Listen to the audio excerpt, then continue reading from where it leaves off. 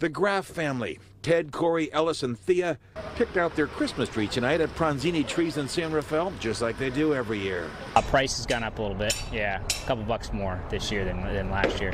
It's good they got their tree now. Transportation costs up 20 to 25 percent are pushing prices higher, and climate change is threatening the Christmas tree supply. That's what happened in five hours. In five hours? Five hours. John Pranzini has been growing and selling Christmas trees for more than 50 years. He has lots of pictures of trees at his Oregon farm that were killed or damaged by last summer's heat wave. We had weather that went from 112 to 114 degrees, and it lasted for four days. We never get that type of uh, warm weather like that. It went from Corvallis all the way up to almost Seattle, Washington. Some tree growers lost 25% of their crop.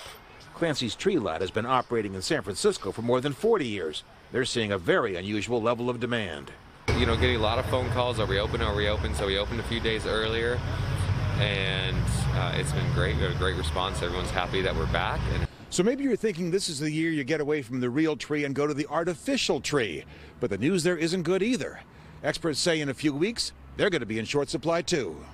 The CEO of a company that imports and wholesales artificial trees says the crimp in the supply chain is the problem. And, quote, the demand this year is going to be extremely strong, and so I think from a consumer perspective, people definitely shouldn't wait. Consumers should buy now. It's possible natural and artificial Christmas trees could be hard to find by mid December. In San Francisco, Terry McSweeney, NBC Bay Area News.